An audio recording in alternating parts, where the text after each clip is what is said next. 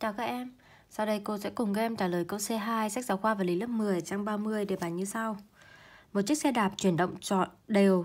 Trên một đường tròn bán kính là 100m Xe chạy một vòng hết 2 phút. Hãy tính tốc độ dài của xe.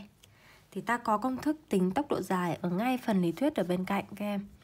Công thức tính tốc độ dài là V bằng delta S trên delta T.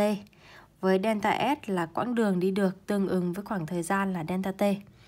Trong trường hợp này thì chiếc xe đạp này chuyển động đều trên một đường tròn bán kính là 100m và chạy một vòng thì hết 2 phút. Vậy cái quãng đường tương ứng với thời gian 2 phút này chính là một vòng, một vòng tròn và nó sẽ bằng là chu vi của cái vòng tròn đấy, đúng nào? Vậy ta có bài giải như sau.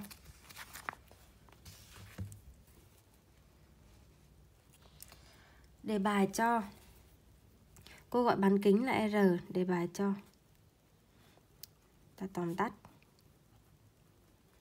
Bán kính là R bằng 100m Và thời gian để đi một vòng là T bằng 2 phút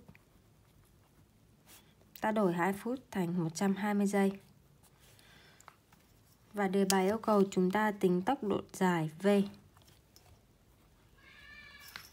Ta có bài giải như sau.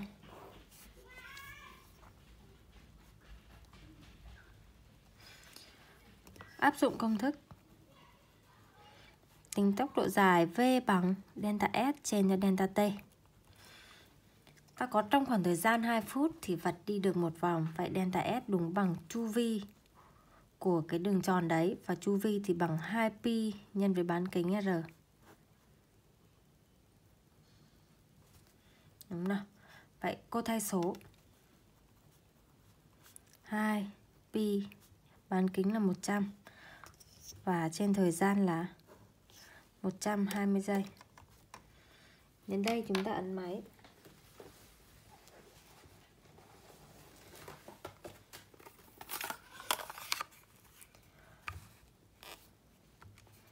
hai nhân với pi nhân với 100 và chia cho 120.